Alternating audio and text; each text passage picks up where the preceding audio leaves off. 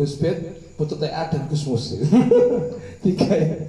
Nah, eh, menarik tadi Gus Bet. Eh, orang mulai besok itu kalau ada tonggone yang buat sama langsung teriak kafir. Dari tadi. Buat foto orang sembarangan kafir. Langsung ben wedi ya. Kafir sama ditutup takbir ya. harus dijaga. Nah, eh, ada ada ada ya, menarik banget yang terakhir tadi harus kita harus menjaga keseimbangan kosmologi dan ekologi. Ada ada tiga hubungan eh, ke- menjaga keseimbangan kosmologi dan keberlangsungan ekologi. Nah ternyata di dalam sudut pandang Islam sudah banyak sampai ke kaidah fikih. Eh, kita sudah membicarakan sampai sejauh itu. Nah, nek sudah begini itu kadang-kadang kaum santri itu harus mencurigai dirinya sendiri. Jangan-jangan ini sinau sing kurang, ternyata ono. Gitu. Kok aku gak ngerti? kurang kurang ngopi ya Nah, kurang sinau barang wajar ternyata. Nah ini untuk eh, ini teman-teman Angklon Dasun ini siapa-siapa main nih? Sebelum ke pertanyaan dan pernyataan, wah ini apa ini lagu ini? Lagunya apa ini? Perahu layar. Perahu layar. Ben gak ini eh, ada Angklon Dasun yang mau mempersembahkan satu aransemennya dewe, aransemennya mas. Ayo main yuk.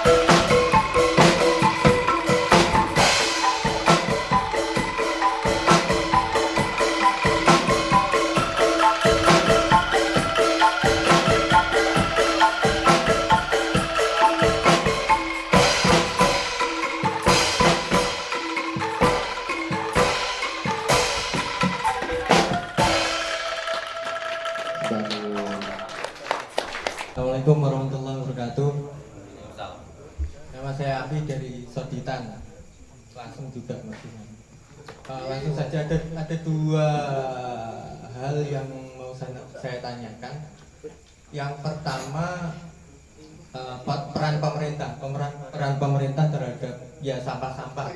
Kalau di sini berarti masalah sampahnya adalah sampah yang dibuang di kali Eh, apakah selain tadi ada beberapa elemen yang harus dilibatkan termasuk komunitas masyarakat pemerintah media dan dan yang lainnya itu akademisi juga apakah ada hal yang di luar itu yang perlu dilibatkan lagi. Misal eh, di YouTube di Instagram kita bisa mencari referensi-referensi eh, perlakuan terhadap sampah yang sama sekali kita nggak pikirkan. Ternyata sampah itu bisa dijadikan eh ada nilai estetikanya. Dari sampah ada nilai keindahannya. Sampah yang ternyata bisa kita ulik menjadi sebuah keindahan. Kita gandeng teman-teman seniman perupa bisa menjadi seni instalasi seni bayangan shadow art atau yang lainnya. Bahkan itu ketika disinkronkan dengan kalau Dason Dason sudah punya gedung pada saat itu juga pernah ada pameran kalau khusus temanya sampah dan itu dijadikan acara tahunan yang lebih dibesarkan lagi kan juga lumayan. Apakah? Ya hal-hal seperti itu yang yang sekiranya bisa bisa pemerintah masuk untuk mensupport. Entah itu lewat dinas apalah saya nggak tahu itu atau ada program-program yang lainnya dari pemerintah yang yang yang sekarang yang sedang yang sedang digaungkan adalah gandeng teman-teman muda diambil kreasinya. Apakah udah di, di tataran pemerintah memang sudah ada brainstorming khusus untuk itu? Mikir tenanan nyari ide. Oh yuk kita gandeng ini kita gandeng apa? Mungkin Pak Jarwo bisa bisa menjawab soal itu. Itu yang pertama. Yang kedua berhubungan sama sampah yang bisa dijadikan sebagai alat kritik berkebalikan. Jadi misal ini ini ini ide liar saya. Ide liar saya misal kita mengadakan festival tahunan festival membuang sampah di kali. Jadi nanti itu kemasannya ada kritiknya masuk tapi bisa iya iya pesannya masuk. Cuma eh, dari konsep acaranya nanti bisa bisa kita buat benar-benar out of the box. Jadi memang ada buang sampah di kali itu dibuat festival. Satu sisi kita buat pesan dan kritik kepada masyarakat dan pemerintah. Satu lagi itu jadikan nilai tambah di pariwisata misal, wisata pariwisata di. Ya ya apalah apalah terserah ya. barangkali muncul ide-ide liar seperti itu kan Ide alternatif begitu. iyalah ide alternatif seperti itu bis- bisa kita jadikan gebrakan awal oh, nambah nambah satu lagi nggak apa-apa ya? Gak apa-apa. Banyak gak apa-apa terus yang yang ketiga eh, soal sampah yang kebetulan kalau di Dasun berhubungannya sama kali terus sampah-sampah. Kita kita sudah banyak tahu sampah bisa dijadikan kompos sampah bisa dijadikan seni sampah bisa dijadikan nilai tukar kesehatan untuk pemeriksaan gratis. Di luar-luar daerah kan sudah bisa. Masalahnya apa? Kenapa kita nggak bisa menyontoh program-program yang sudah bisa berjalan program-program dari sampah yang sudah berjalan baik di luar-luar daerah kita bahkan ada nilai ekonominya sebenarnya masalahnya di mana? Kalau kita kembalikan lagi ke mental masyarakatnya lah bagaimana peran pemerintah eh, dalam mendekati masyarakatnya? Apa tidak bisa menyontoh program-program tadi yang bahkan satu RT bisa membuat bank sampah sendiri ada suppliernya ada ada ada yang menerima ada layarnya ada yang membuang ke mana menjadi cacahan plastik dan sebagainya sebenarnya masalahnya di mana gitu aja terima kasih Nama saya Suhud, panggil saja Kang Suhud. Eh, dari perwakilan Ansor Lasem. Eh, cukup singkat yang saya tanyakan.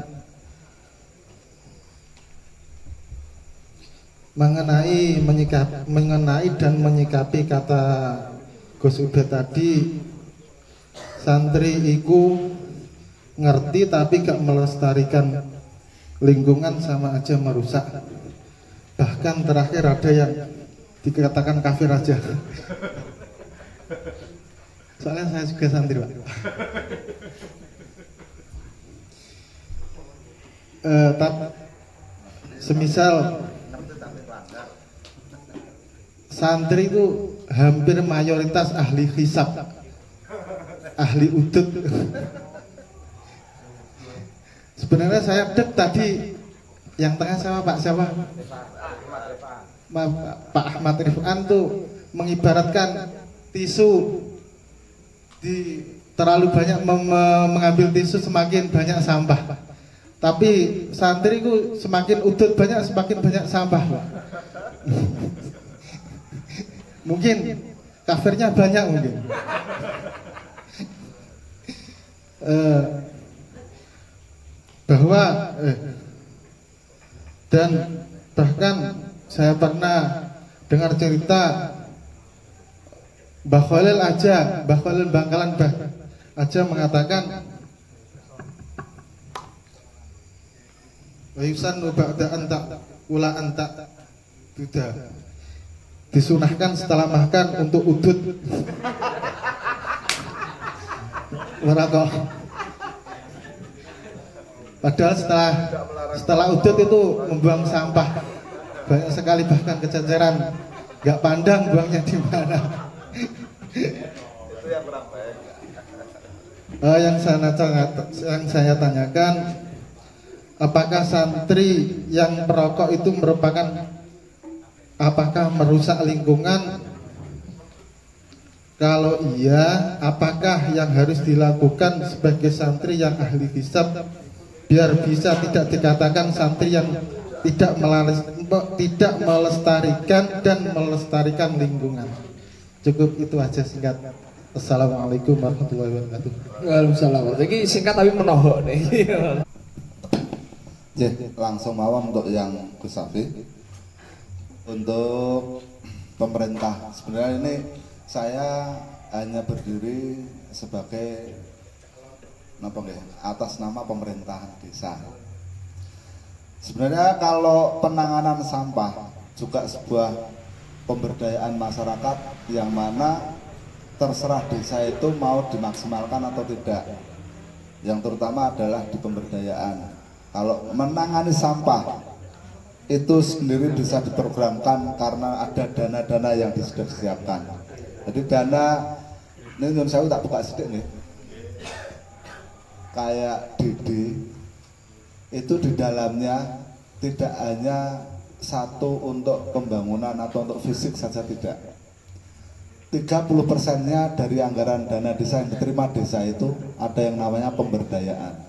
Lah kalau desa itu tidak punya inovasi untuk bisa minterke masyarakatnya supaya bisa ada sesuatu yang tadinya dipandang sebelah mata yang namanya sampah akan menjadi berkah kan harus ada pelatihan itu salah satu yang harus kita lakukan bersama tapi karena sampah itu lagi-lagi menjadi isu yang sudah nah penghitungannya tidak punya daya tarik. Tapi mau tidak mau yang namanya sampah itu adalah sesuatu yang akan mengancam keberadaan kita. Untuk itu yang di- dipertanyakan Agus Safi tadi apakah ada program? Ada tinggal desanya karena desa sudah mendapatkan dana-dana yang dikucurkan dari pemerintah secara blue green itu tadi. Yang kedua inovasi. Inovasi juga melalui pelatihan. Kalau daya seni juga melalui eh, pengguna dana itu sendiri meng- menginovasi. Seperti pameran yang ada yang kami lakukan di tahun 2017 itu sebenarnya kan bukan bertujuan untuk bentuk riak, bentuk pamer tidak. Tapi bagaimana desa itu bergerak di dalam memberdayakan masyarakatnya. Malah justru mulai desa, mulai kami adakan yang namanya Pekan Inovasi Desa Sekabupaten Rembang. Tak lelak-lelakno kados ngoten, tak nggo tak panggonke nang jero gedung, tak tatokno panggonane ora sah bayar, pemerintah mempang kalih program tersebut. Alhamdulillah sampai sekarang yang namanya Pekan Inovasi Desa dilakukan oleh kabupaten. Ini kan sebuah pemikiran yang ya sudah akeh orang kok kalau mamerke ternyata di luar program itu.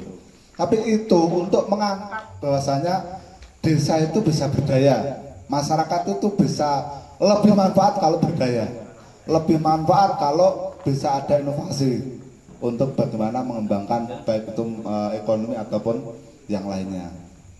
Terus di pameran seni itu kembali kepada pemerintah desa. Seperti saya Dasun, setiap tahun kami mengadakan yang namanya eh, apa? gelar budaya dan perwisata. Tapi itu baru kami bisa lakukan di tahun 2017. Nak 2016 Zong Pak nggih. Nggih. Saya berani menggunakan dana desa untuk kegiatan. Jadi Dasun RTH itu jangan dibilang kayak wong nempok saja tidak. Untuk membangun sebuah kegiatan yang bisa rutinitas setiap sore setiap sore didatangi orang dan di sana ada tersedia pedagang. Tidak terus dengan buka dodol payur apa tidak seperti itu. Jadi harus ada inovasi dari kita dari pemerintah desa mengupayakan ada event ada kegiatan ada ini ada itu. Ini dalam rangka kita mem, satu eh, mempopulerkan apa nak cara bahasa kekiniannya memviralkan promo promo mempromokan mamerkan golek eh, event-event itu. Jadi boten kados tiang nemok ngerti-ngerti didodol.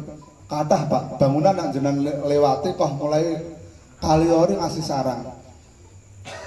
Bangun itu nak ana duwite. Gampang. Tapi bagaimana bangunan itu akan bermanfaat? Itu yang sulit. Jadi tidak dengan serta merta terusan eh, dana itu langsung bisa dibangunkan terusan langsung bisa teko dhewe do, do belanja do jajan mboten. Semua perlu tahapan itu dan tidak tidak boleh ngaten. Kalau masalah sampah itu hanya dipandang ini tugas pemerintah. Ini tugas eh, teman-teman lingkungan itu akan tidak akan pernah selesai. Tapi bagaimana tugas ini adalah tugas kita bersama, termasuk masyarakat, termasuk pemuda, termasuk elemen pemerintahan, anu, termasuk pemerintah, termasuk elemen masyarakat yang sekecil apa pun, karena dia secara tidak langsung memproduksi sampah setiap harinya. Setuju no mboten itu coba kita logikakan anu Gus Saping ya. Jadi kalau adakah pemerintah eh, berperan untuk bisa menginovasi membuat sebuah karya seperti yang dicontohkan tadi. Ini kok anu nak kula mastane sebuah keprihatinan yang berat terkait dengan sampah. Sampai-sampai nggak sampah apa enggak apa eh, apa menyelesaikan masalah sampah malah justru membuat festival membuang sampah nak kula rawani wong tak kandhani aja nang kali nggih. Ya kowe jebelan bali apa meneh tak kongkon? Bus malah angkat kabeh. Wah cilaka. Kula sing bentuknya seperti itu saya tidak berani. Tapi apa pun bentuknya selama bertujuan baik insya Allah akan dapat jalan. Ngaten nggih? Saya nyinggung yang dari Gus semua contoh itu kan sebenarnya hanya untuk eh napa nggih? Oknum nggih bukannya santrinya bukannya se anu apa gusnya tidak. Tapi alangkah baiknya kalau santri itu lebih tidak membuang rokok sebarang tempat. Cocok betul? Nah gitu dong. Jadi tidak hanya dipandang sebelah mata saja gitu. terima kasih. Assalamualaikum. Eh, mangke gone niki Gus. Eh, sedikit nanggapi apa yang disampaikan Gus Sapi ya terkait erat dengan eh, peran pemerintah walaupun tadi sebenarnya eh, yang berhak jawab eh, Pak ini kok cocok 2024 Mas. Aku lu difitnah belakangan kalau ada nih Malah malah tertular. Eh, jadi terkait dengan apa sih peran pemerintah sebenarnya saya juga cukup prihatin ya dengan adanya di Indonesia mungkin nanti bisa disambung lagi setelah Bisupet dengan apa eh, mungkin saya perlu diluruskan atau diinformasikan oleh Pak Jarwo. Dana desa itu tadi disampaikan 30% untuk pemberdayaan. Saya mendengar melihat setiap desa nek nganakno apa iki jeneng? Studi banding jare. Ana meneh istilahnya ora studi banding. Nah, peningkatan kapasitas atau apa? Sepulang dari saya mengatakan kayak piknik bloko gitu ya jadi ke sana terus seneng fotonya itu foto yang diupload gitu ya foto-foto selfie-selfie tok itu Tapi paling tidak berniat dari awal niat saya, Pak. Iya, ya makanya ini ada saya sedikit Pembelaan. Iya, enggak apa. Eh, tadi disampaikan nggak semuanya, saya bilang nggak semuanya. Tadi, nah, bagaimana proses hasil itu maksud saya? Iya, Sepulang dari itu, ada tidak lanjut. ada tindak lanjut atau follow up tentang tadi yang ditanyakan Pak Jenengan mestinya. Karena dari itu, itu, itu tadi kan belajar gitu. Makanya kenapa tadi saya nyampaikan bukan hanya government. Mungkin yang diajak dari pihak desa bisa jadi dari kalangan akademisi, akademisi itu banyak, bisa pendidik, bisa atau apa kan bisa diajak toh itu dari desa setempat. Di mana kemudian mereka yang terdidik itu melakukan analisa-analisa terhadap eh, permasalahan yang ada. Misalkan masalah sampah itu tadi. Dipetakan di dasar ini titik-titik sampah sudah berso tadi.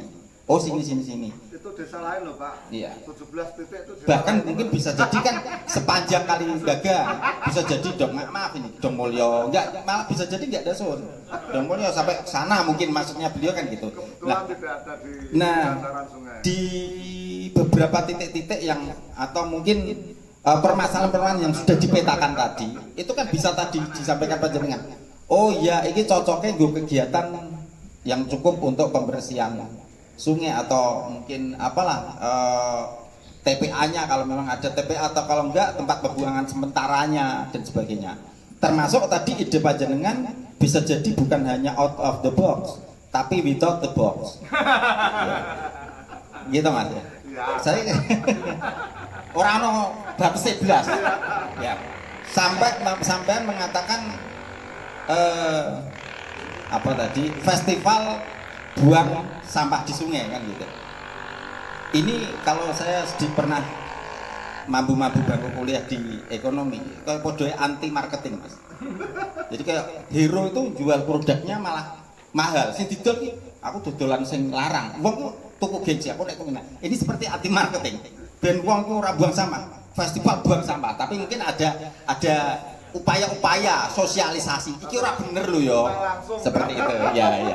Jadi itu itu ada banyak hal. Sebagaimana mungkin eh, sebuah acara eh, yang memang seperti anti marketing juga agar orang itu malah tertarik. Ojo tuku iki. Bukan man apa itu? Malah pengen tuku kan gitu. Jadi eh, akhirnya orang akan tertarik bisa jadi. Jadi kemudian kolaborasi. Kalau sekian tadi yang disebutkan kelompok ini dan sebagainya seniman seniman itu salah satu. Kenapa tadi kami sebutkan masyarakat? Karena seniman ada menjadi bagian dari masyarakat itu sendiri. Dia bisa eh, melakukan kreasi tadi seperti seni instalasi. Ini salah satunya yang kenapa saya mikir terus. Eh, ketika kapal-kapal dongkrak itu kan bisa. Yang mereka mas itu bahaya loh pakune saya dikasih tahu masukan pakunya itu niang bisa tetanus dan sebagainya. Nah, ini kan perlu banyak eh, pihak yang terlibat. Oh iya bagaimana penggunaan ini agar tidak juga berbahaya.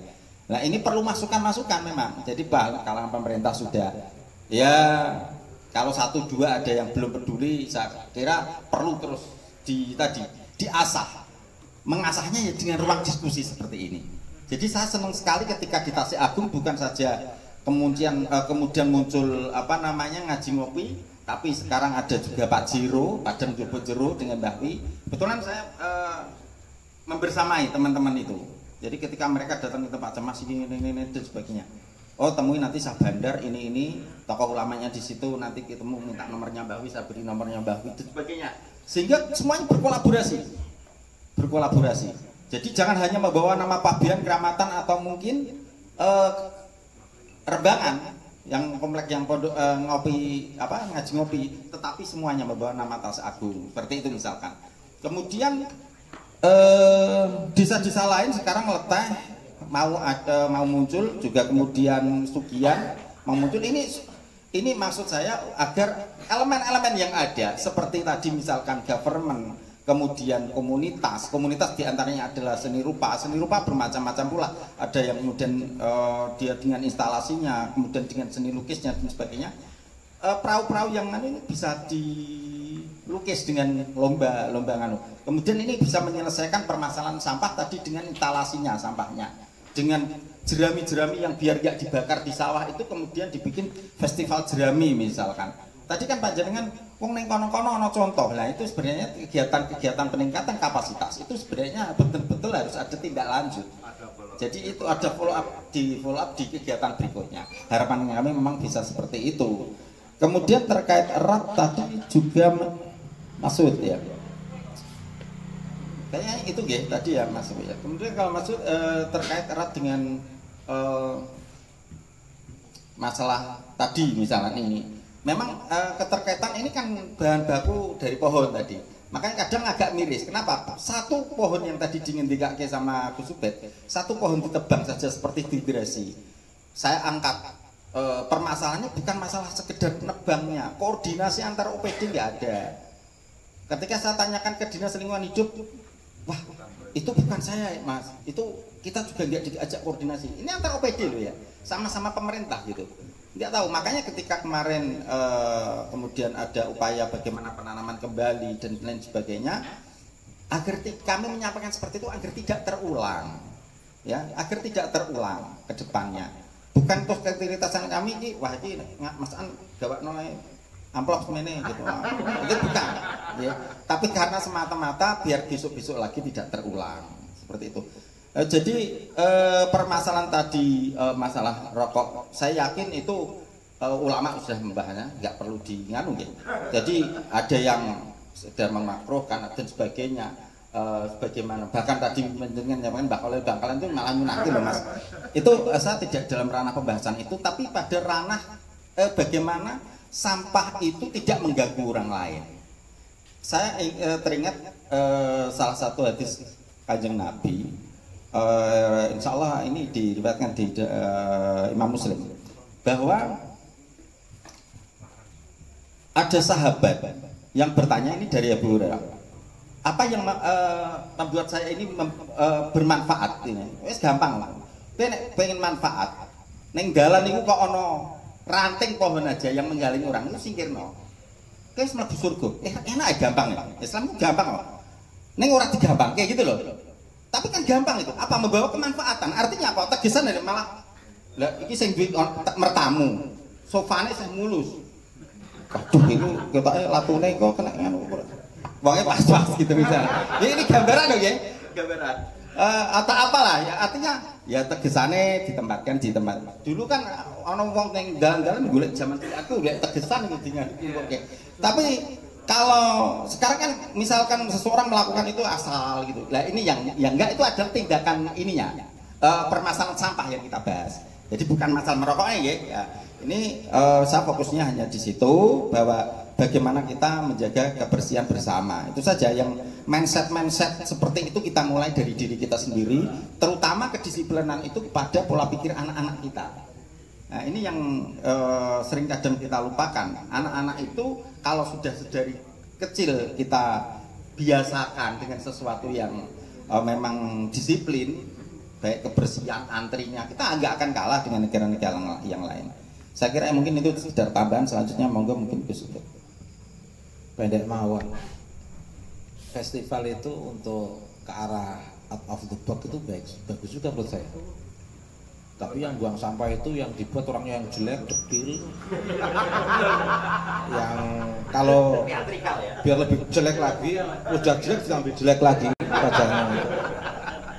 Dan di situ ada juga kelompok lain yang yang membuang sampah sesuai dengan tempatnya, tapi yang ganteng, yang gagah, yang cantik, Saya itu ya gitu. Dan itu di depannya saya. bisa bisa, oke oke kalau gitu Pak Lurah. Ya. Ya bisa saja itu ya. Terus kemudian tentang kritik untuk santri itu sebenarnya yang jelas kalau ngedit yang rapi nanti kalau nggak rapi bisa bahaya juga saya nanti ya. Yang jelas saya hanya ingin menyampaikan bahwa masih minim di kalangan santri dan ulama setiap ceramah bicara tentang lingkungan. Masih minim, itu harus diakui gitu ya. Khotbah Jumat jarang tentang lingkungan. Dan ya harusnya kan coba mengundang Habib Syekh temanya tentang lingkungan lestari. Jadi solawatannya tetap tampil beliau, tapi ada penceramah yang bicara tentang lingkungan di sela-sela solawat itu. Penceramahnya Gus Rifan. janganlah saya lah. Iya, iya. Misalnya ya. Menarik. Karena memang belum ada. Jadi dikasih tema mengundang Azahir eh, solawat dan lingkungan lestari misalnya. Kayaknya perlu perlu juga seperti itu.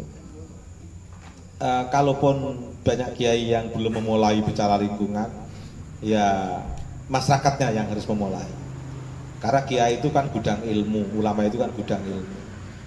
Mereka itu tempat ilmu, jadi eh, ya pinter-pinternya me- menanyakan masalah kepada kiai biar kiai menjawab sesuai dengan masalah kita. Santrinya saja yang tidak pernah bertanya, masyarakatnya tidak pernah ber- bertanya. Oh ini saya bukan membela dinasti kiai bukan, ya. tapi memang saya kira perlu juga masyarakat eh, ngasih tema khutbah eh, apa diselipkan lingkungan. Ceramah juga diselipkan lingkungan. Ya masyarakatnya yang butuh. Masyarakatnya yang butuh nanti kiai yang menjawab. Saya sendiri kalau malam ini tidak tema eh, larahan itu mungkin nggak akan membahas juga saya. Ini kan karena saya terperkosa oleh panitia juga kan. Karena bicara larangan akhirnya saya bicara itu. Ah, dalam banyak hal yang membuat tema itu kan bukan yang diundang sebenarnya tapi yang mengun- mengundang. Jadi jangan salahkan kiai kalau tidak bicara lingkungan. Tetapi yang jelas meskipun kiai tidak bisa disalahkan kalau tidak bicara lingkungan tetapi jarang yang menyelipkan ceramah-ceramah mereka tentang lingkungan. Jadi ingat ya jangan dipotong jadi jangan salahkan kiai atau ulama kita di lingkungan Rembang kalau tidak bicara ling- lingkungan. Karena memang seharusnya masyarakatnya yang bertanya tentang lingkungan atau matur agar kiainya bicara tentang lingkungan. Karena kiai bicara itu sesuai dengan kebutuhan masa masyarakatnya nggak butuh tentang lingkungan lestari masa ceramah tentang lingkungan lestari nanti dikira ini kiai capopo ba- baca tentang sampah macam-macam. Biasanya nah kalau kiai pidato itu kan tentang tauhid tentang surga neraka gitu. Saya sendiri itu setiap mau ceramah itu mau memasukkan tentang lingkungan lestari itu saya juga mikir nanti butuh nggak masyarakatnya ini? Kalau nggak butuh nanti saya nggak diundang lagi. Kalau saya nggak diundang lagi income saya kurang Wong itu hubungannya dengan income juga itu misalnya kecuali lingkungan. Nggak usah berperasaan untuk nyangoni saya malam ini ya. Gratis gratis gratis. Malam ini gratis ya. Enggak, ini saya nggak nyindir. Biar biar nggak ada beban, langsung saya mengatakan gratis ya, biar nggak ada beban ya. Cuman saya ingin mengatakan secara keseluruhan, hampir semua kiai itu mau ceramah tentang lingkungan itu khawatir terbebani suasana kondisi masyarakat yang belum belum belum umum. Umumnya kiai itu kan ceramah tentang tauhid, ceramah tentang hal-hal yang berhubungan dengan surga neraka, hitam putih dan normatif itu. Kalau berhubungan dengan lingkungan itu, ya harus masyarakatnya yang menunjukkan kebutuhan tanpa harus menyalahkan kiai. Kiai, kiai itu kan ngomong tergantung kebutuhan. Kalau nggak tiba-tiba datang langsung bicara dengan yang tidak di- dengan sesuatu yang tidak dibutuhkan kan persoalan juga. Ya, jadi jangan salahkan kiai kalau tidak bicara lingkungan. Nah, tetapi masih minim kiai yang bicara tentang lingkungan. Enggak salah paham ya? Jangan dipotong loh ya. Kalau kalau nanti atau dipotong saya dikeluarkan dari dinasti kekiaian nanti. Tidak diundang ngaji lagi nanti saya ya. Jadi saya saya ulang lagi sebagai kesimpulan, jangan salahkan kiai kalau tidak bicara lingkungan. Karena memang itu semua terkait dengan kebutuhan masa masyarakat. Tapi masih minim kiai yang bicara tentang lingkungan. Hanya begitu Mawang ya. Terima kasih. Iya, ada tambahan Pak Jarwo? Monggo. Eh, syukur nanti eh, beliau dari BPWD Pak Marcos bisa ada sebuah yang disampaikan tapi paling tidak nyun sewu pangapunten saestu menika Ndik wau padahal kula kalih Pak Suwadi itu berharap panjenengan hadir bisa menyampaikan sesuatu yang akan ada kaitan dengan kita semua terutama di kesiapsiagaan jadi kalau musim yang seperti ini, masyarakat kalau tidak diberikan sosialisasi terkait dengan siap siaga, terutama yang biasa eh, mampir di daerah kita masing-masing antara banjir dan puting beliung, angin ya, itu kan nanti kayak kayak wah belas.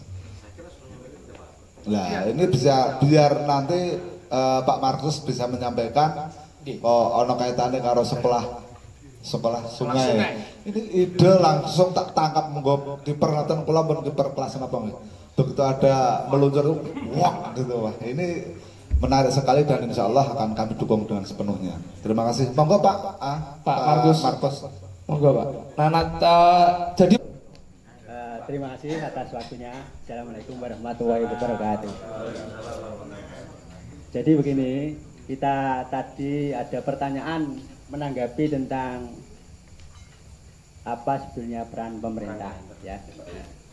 Jadi pemerintah dalam hal ini sebagai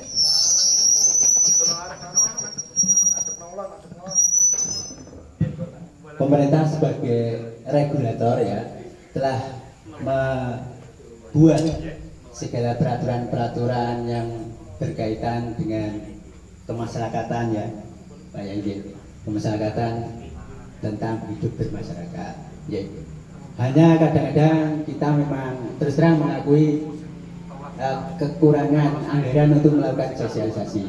Jadi pada acara seperti ini kami sangat-sangat mengapresiasi ide daripada Pak Inggi ya untuk mengumpulkan panjenengan semua sehingga bisa memberikan pencerahan hal-hal tentang kebencanaan. Sepanjang tahun 2019 itu kami hanya menerima undangan dari mungkin sekitar 15 desa ya dari 295 desa yang mengundang kami untuk memberikan pencerahan pada masyarakatnya. Kami sendiri tadi saya katakan kurang anggaran untuk mengumpulkan masyarakat seluruh Kabupaten Rembang. Jadi pemerintah dalam hal ini sudah membuat regulasi semua eh, yang berkaitan dengan kemasyarakatan masyarakat. Misalnya kita tahu merujuk pada Undang-Undang Nomor 24 Tahun 2007 tentang penanggulangan bencana. Jadi bencana itu bukan hanya tanggungan jawab pemerintah, tetapi juga menjadi tanggung jawab masyarakat dan dunia usaha. Masyarakat siapa? Panjenengan semua, saya juga itu menjadi tanggung jawab.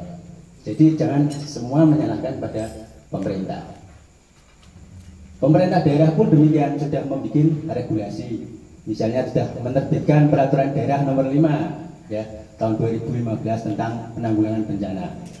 Dan ini yang terbaru tadi yang hubungan dengan sampah ya. Pemerintah juga sudah menerbitkan Perda nomor 1 tahun 2019. Begitu juga peraturan bupatinya nomor 7 2019. Itu semua tentang pengelolaan sampah rumah tangga di Kabupaten Rembang.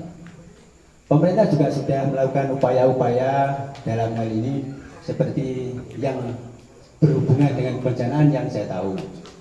Ya, di OPD yang lain mungkin juga sudah melakukan di LH misalnya tentang sampah. Di kami juga ya.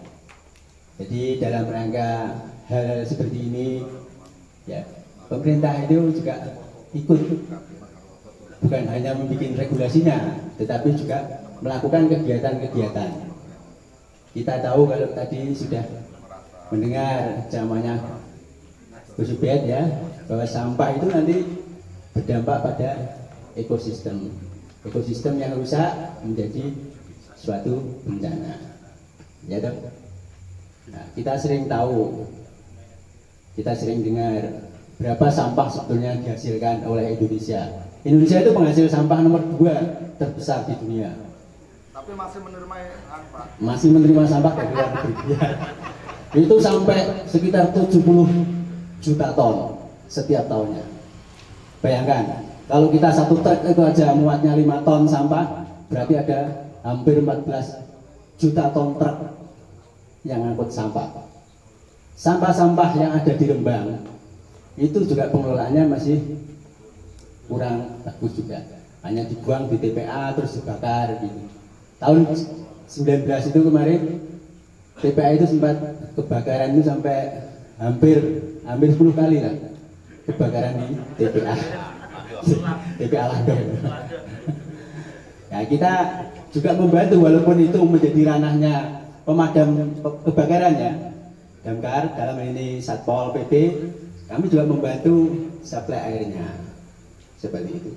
Ya seperti saat ini panjangan ini tadi ada banner itu dalam rangka untuk meningkatkan kualitas uh, pengetahuan panjenengan, meningkatkan kualitas sumber daya manusia di Dasur.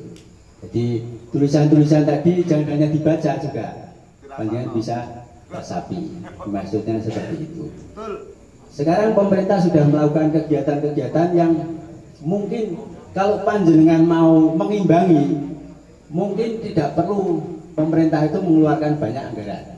Seperti tadi sudah dicontohkan pada Pak Yayi Rifan tadi ya tentang Karanggeneng. Ya. Pemerintah tahun 2012 itu sudah menormalisasi Sungai Karanggeneng. Itu habisnya berapa? 190 juta. Tapi masyarakat di situ tidak peduli. Ya toh? Begitu juga pemerintah sudah membuat talut sepanjang Sungai Karanggeneng. Itu juga mahal. Tapi talut yang dari batu itu diambili sama nelayan kalau malam untuk pemberat jalan. Susah. Seperti itu. Jadi talutnya itu malah bolong-bolong karena diambili seperti itu. Mental. Seperti itu. Nah, makanya ini kita ajak semua seperti yang hubungan tadi pada Gus tadi. Bagaimanapun juga ada keseimbangan. Ketika pemerintah sudah mengeluarkan regulasi, aturan-aturan, pemerintah sudah melakukan sosialisasi, panjenengan semua juga harus uh, mengimbangi lah taruhlah. Panjenengan juga dituntut untuk partisipasinya terhadap pengurangan risiko bencana. Permendes nomor 11 kalau nggak salah tahun 2019 itu tentang pembagian ADD ya. Itu ada di situ sering saya tekankan tentang uh, pengurangan risiko bencana. Silahkan Pak Kades membuat apa uh, kode rekening tentang penyelenggaraan pengurangan risiko bencana. Itu bisa dipakai macam-macam. Karena di Kabupaten Rembang itu sendiri kan bencana banyak di samping banjir, kekeringan yang setiap tahun. Bayangkan saja di Rembang itu kita sering ngedrop dari kita ya di BBD itu sampai 750 sampai 1200 tangki air setiap tahunnya. Itu berapa anggarannya? Itu baru dari uh, eh, BBBD, belum lagi yang dari PDAM. Kalau panjenengan bisa menjaga ekosistem tadi, mungkin kekeringan di Rembang bisa berkurang. Kan seperti itu. Nah terus kalau panjenengan ditanya atau mengusulkan pada Pak Igi apa yang Pak Igi apa kira-kira rencanakan untuk pengurangan risiko bencana? Saya katakan kode rekening untuk pengurangan risiko bencana itu bisa luas ya kalau di daerah kering tadi misalnya kekurangan air bisa untuk membeli air atau membeli tanaman untuk penghijauan dan lain sebagainya termasuk untuk kerja bakti membersihkan sungai dan itu menjadi tanggung jawab kita semua kira-kira gitu Pak Iki, Gus. Ya, matur nuwun. Assalamualaikum warahmatullahi wabarakatuh. Jadi tahun ini kami itu ada sekolah sungai. Rencananya kami itu ingin mengajak relawan-relawan itu untuk melakukan eh, peningkatan pengetahuan juga praktek tentang pengelolaan sungai. Jadi supaya fungsi dari sungai itu kembali seperti semula. Jadi ekosistemnya akan terjaga. Nah, nanti desa-desa yang ada di sepanjang bantaran itu nanti akan kita ambil sebagai jadilah uh, mentornya ya. Nanti biar dia bisa menularkan ilmunya pada masyarakat. Nah kebetulan tahun ini juga kami ada kegiatan uh, ketoprak, ada kegiatan wayang kulit Gus. Hanya kami sering tahun kemarin kan wayang kulit itu selipkan juga tentang hal-hal uh, penyuluhan kebencanaan. Juga nanti ada kita itu ada program uh, manajemen kebencanaan. Nanti mungkin uh, kami termasuk apel siaga bencana itu tahun ini akan kami pusatkan di Lasjam kalau memang Dasun bersedia ada lapangannya kita akan dapatkan di sini. Siap, Pak. Kasih. siap.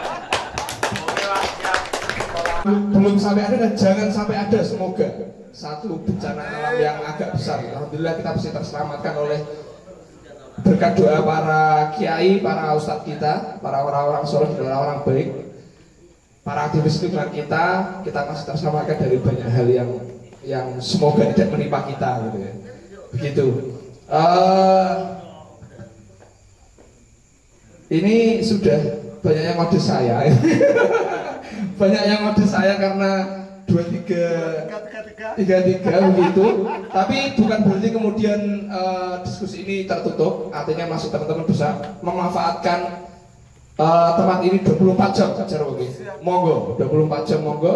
Nanti bisa untuk diskusi dan sebagainya untuk kelanjutan. Nah eh, untuk mengakhiri mengakhiri eh, ngaji kita pada malam hari ini saya minta closing statement nih dari empat beliau yang hadir. Closing statement eh, dua kali empat mawon Nah, monggo pertama Cero oke Cero Kalau sesuai dengan tagline terbaru yang saya rasa bisa rodok bisa mengurangi tepatnya adalah bank sampah dan sampah menjadi berkah. Sur mungkin sering sekali kami sampaikan mungkin ya. Tadi terkait dengan sampah dan kemanfaatan saya tidak disampaikan. Jadi hidup kita ini kan hanya sekali. Jadi bagaimana hidup kita penuh arti adalah dengan bermanfaat atau ada tiga ngaji yang harus terus kita lanjutkan. Jangan sampai terputus ngaji tauhid ngaji kemanusiaan ngaji lingkungan Nah, ini sedikit ya. Mari kita jaga alam supaya alam menjaga kita. Kam, ano, apa, Babinsa dan Babin Kapdikmas yang sampai selarut ini masih derek no kelola dengan sami. Aplaus yang untuk berdua. Ya, alhamdulillah nah, saya sebagai moderator juga ya pertama mengucapkan terima kasih kepada eh, kawan-kawan semua, terutama kepada para pembicara sudah meluangkan waktu dan eh, semoga ngaji ini Berlanjut. berlanjut setiap bulan dalam bentuk selapangan. Nah, eh, tahun depan kami harap juga kehadiran teman-teman tentu dengan tema berbeda sehingga bulan depan, bulan depan dengan tema berbeda, tema bisa kita diskusikan, tema bisa diusulkan, disoditan. disoditan boleh, monggo di pendopo saya ada, begitu. Eh, sebagai moderator saya tidak akan menyimpulkan apa-apa. Kesimpulan silakan kawan-kawan simpulkan sendiri. Karena tak semuanya pasti punya pengetahuan, semuanya pasti pintar saya yakin. Dan saya kukuh dengan keyakinan saya. Terima kasih sebelumnya tepuk tangan untuk kita semua. Assalamualaikum warahmatullahi wabarakatuh.